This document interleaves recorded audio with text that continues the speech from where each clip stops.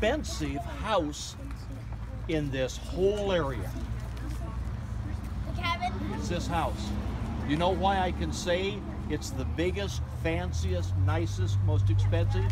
Because it was the only house in this area. There were no other houses. So This was everything.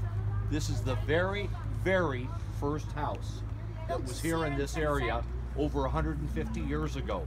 And we're going to be able to go inside it, which a lot of people don't get to go. They have to just look through the grate there. But we've unlocked it because you guys are in a school class and we want you to be able to see inside.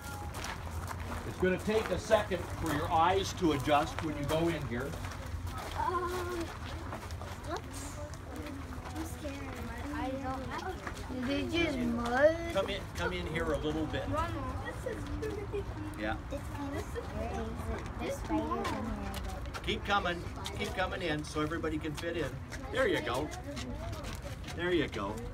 Okay, now I want to point out some things to you, and I really don't have to point this out too much, but this is kind of dirty in here, isn't it? Yeah. Yeah. Look down at the floor.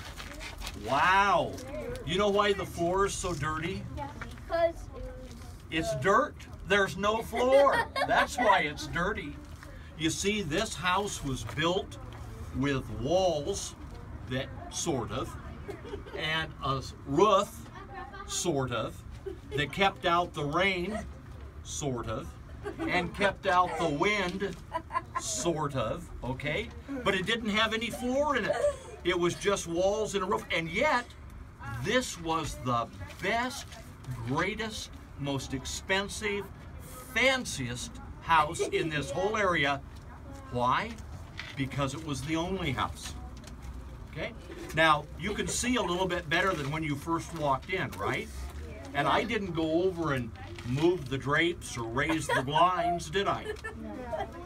And why didn't I do that? Because there's none. Because there's no blinds and there's no drapes. How come there's no drapes? Because it's so old and they didn't have that. There's no windows. See, the only opening into this house is where we walk through the door. You guys want to see the range and the oven and where they cooked and where they did all the cooking for stuff? It's right here.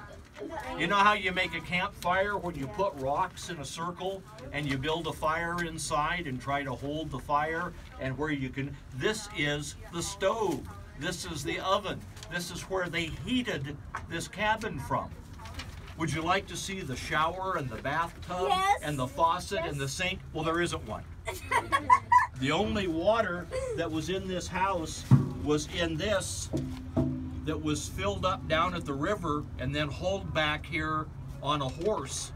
And that's how they got water in here. So if you wanted to make coffee in the morning or brush your teeth or clean up, you know what? You know what? I think back then in those days, people were a little stinky. I don't think they were real clean because I don't think there was a lot of water. Unless you went and dunked yourself in the river or you were a Baptist maybe, but there wasn't a chance to take a take a bath. Let me show you something over here. This is a bunch of logs that are put together on a frame and in between the edges of the frame are ropes. Well, those ropes form kind of a foundation that if you take blankets or burlap bags and put over the top of them, that is your bed. Now, this is the most luxurious, most comfortable, fanciest mattress you can imagine because it's the only one. There's no other one. See, everybody else would sleep on the ground under a tree or by a rock or just out in the open.